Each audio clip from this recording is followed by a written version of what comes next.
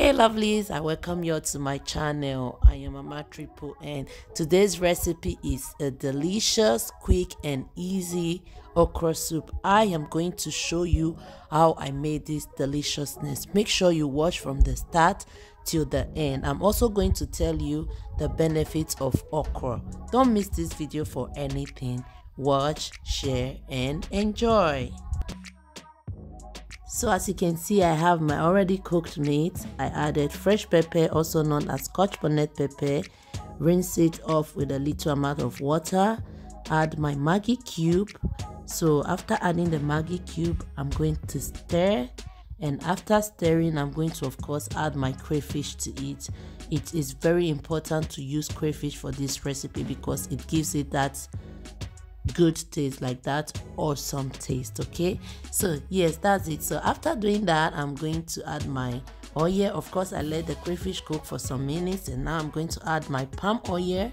After adding the palm oil i'm going to stir and after stirring i'm going to cover to let cook for some minutes I also added my mackerel fish which I already smoked in the air fryer. I'm going to stir carefully and then cover to cook for 3 to 5 minutes. And in another pot I parboiled my okra, okay? I uh, did that for like 30 seconds, yes, because I want it to be slimy, okay? If you want your okra to have that sliminess that's how you get it okay i hope that english is correct yes so that's it so right about now i'm going to add my okra to eat. so while you are watching let me tell you some of the health benefits of okra it is good for digestion it's good for the eyes it is good for the skin it is good also for the immunity, like for the body immunity. It controls diabetes and prevents kidney disease. It lowers the blood pressure.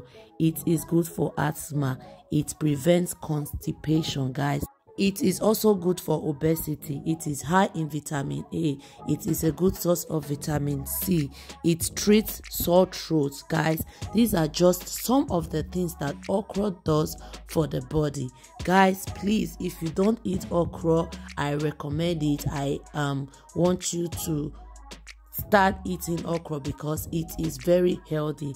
So I added a little amount of salt to it because the salt was not enough so now i'm going to just let it cook for like two minutes and then that's it. The soup is ready. Remember after putting your okra you don't have to cook it too long okay? Because when you cook it too long it will lose all its nutrients okay?